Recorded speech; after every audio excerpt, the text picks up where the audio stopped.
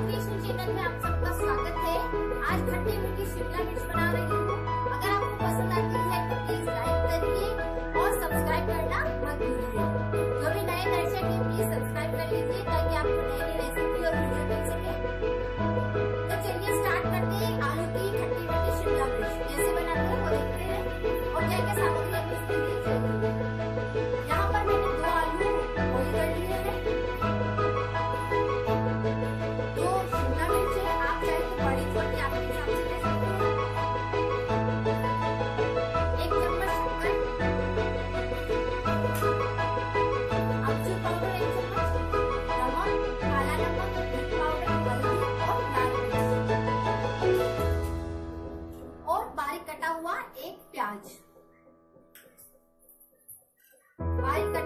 हरा धनिया सबसे पहले हम शिमला मिर्च की कटिंग करेंगे।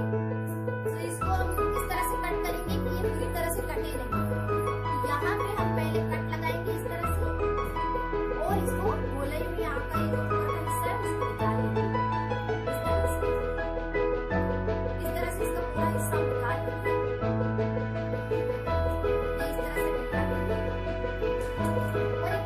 सहायता से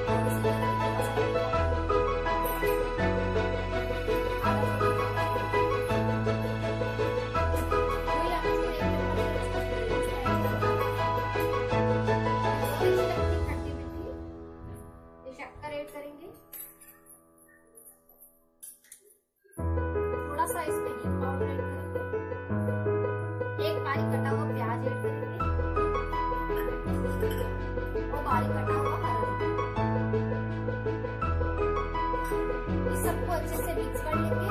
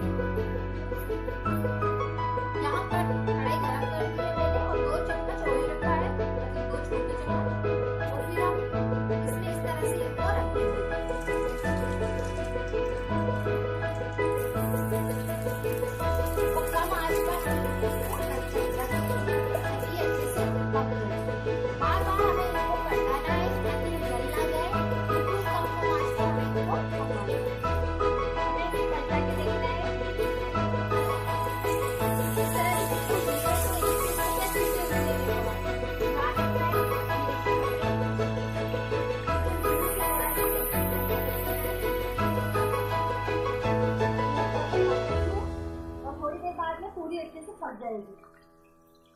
दो या तीन बार हम पलटाएँगे, उसमें ही पूरी कंप्लीट हो जाएगी और हम इसको आपने